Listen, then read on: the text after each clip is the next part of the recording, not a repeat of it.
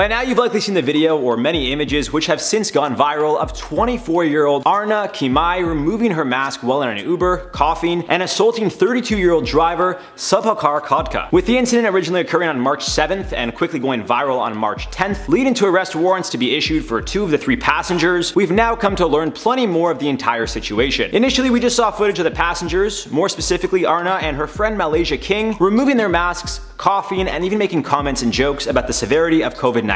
Then Arna took to Instagram defending her actions. Now she's facing up to 16 years in jail, and it seems there may be more to the story than initially thought. I'm gonna tell you guys everything you need to know right now on IO. Smash that like button and let's get into it, folks. If you guys haven't seen some of our previous videos regarding this situation, feel free to check those out as well. Although I'm likely going to repeat some of the information previously covered, this video is more so focused on some of the new information that has since come to light. That being said, for context's sake, let's quickly go over the sequence of events that have led to where we currently stand. In a nutshell, three passengers got into Khadka's car, and upon realizing one of them didn't have a mask, he asked her to put one on. Once it was determined they didn't have one and he didn't have an extra mask to provide them, which the women seemed to be disappointed in, everything appeared to go downhill. Although Khadka offered to stop at a nearby gas station to purchase one, as we could see in the video, the women started to get angry and aggressive, with Arna specifically removing her mask, coughing in Khadka's direction, and attempting to grab his phone before he snags it back. King also removes her mask, claims she doesn't even have COVID, and at one point after leaving the vehicle, sprayed pepper spray into Khadka's car. According to the San Francisco's Police Department's press release dated March 14th, I quote, Miss King was arrested on an arrest warrant last Thursday, March 11th, 2021 for the following charges. Assault with a caustic chemical, assault and battery, conspiracy, and violation of health and safety code. On March 14th, Arna would turn herself in and be released after posting a $75,000 bail after learning about the warrant for her arrest. The official press release reads, I quote, Miss Kimiai was booked into San Francisco County Jail tonight on an arrest warrant for charges of robbery, assault and battery, conspiracy, and violation of health and safety code. On March 18th, it was confirmed that she was charged with attempted robbery and assault on a hired transportation driver, which are both felonies. She has also been charged with misdemeanor battery on a transportation driver and violation of a COVID-19 health order. Now, aside from having to deal with the law, it seems the good people of the world also rallied and showed their support for the driver, Mr. Khadka, who had a GoFundMe campaign set up on his behalf, which has currently raised over $100,000. That being said, it seems there's more to the story than just a random act of aggression.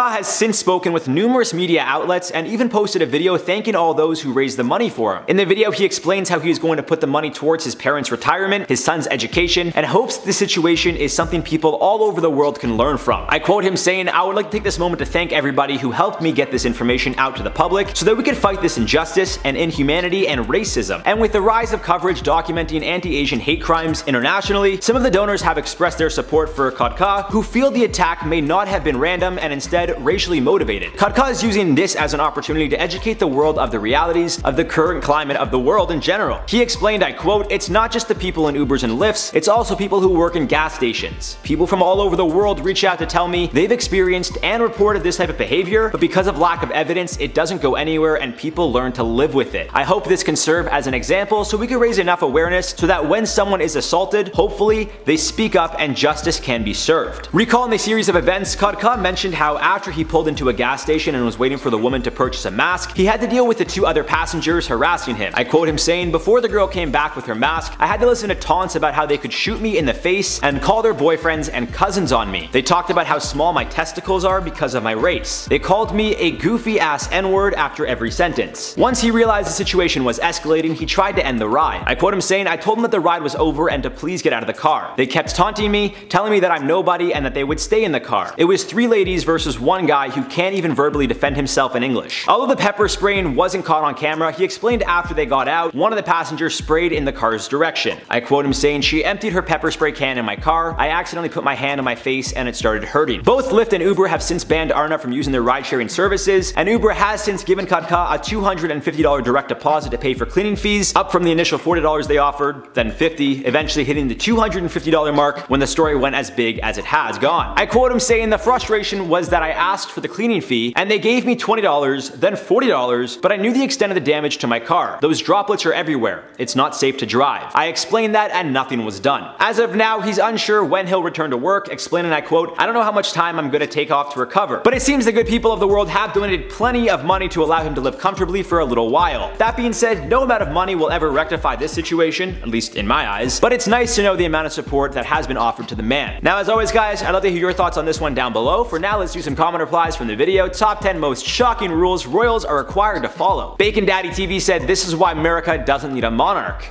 I agree. Nicole Flanagan said the queen banned garlic, it is never allowed in the palace and the family is never to eat it as well. I'll be honest, I was like, this can't be true. And I was gonna just stand here and be like, I didn't look it up. But I did look it up, and it is a fact. And you wanna know why? I thought it was just the queen just being like, I don't like garlic, get it out of here, because I have that power. No, it's actually because they talk to people very closely a lot, and they don't want any of their breaths to smell like garlic. You guys ever eaten garlic? Stays in your breath. Sometimes it stays in your breath for like a day or two if it's really strong. Or maybe I just don't brush my teeth often enough, but that's besides the point. It really stays on your breath, and then, you know, if you're talking close to people, you don't wanna have a royal conversation be a little stinky, because that's some royal stinkness, you know? Alright guys, that's all for this one. I've been your host, Jared Bronstein. Bye.